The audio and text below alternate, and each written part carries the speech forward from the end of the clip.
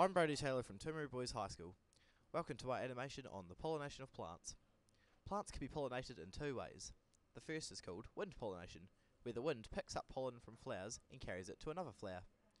Flowers pollinated by the wind usually have stamens on the outside of the flower and are usually not so pretty or nice smelling, so insects are not attracted to them.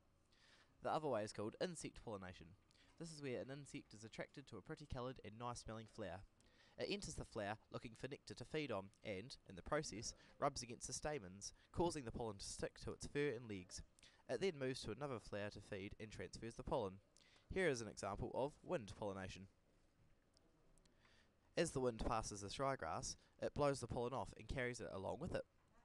The wind carries the pollen to another lot of ryegrass, therefore pollinating it.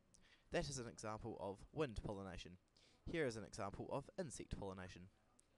The bumblebee enters. It is immediately attracted to this rose because of its bright pretty colours and its nice smell. The bee enters the flower looking for nectar, which it finds and feeds on. After it feeds, it leaves the flower. As the bee leaves, it rubs against the stamens, which produce pollen, so the pollen sticks to its fur and legs. The bee leaves the flower with pollen still attached to it. It flies to another flower, again looking for nectar. As the bee feeds on this nectar, it will rub against and transfer the pollen to this new flower, and therefore pollinate it. Thanks for watching.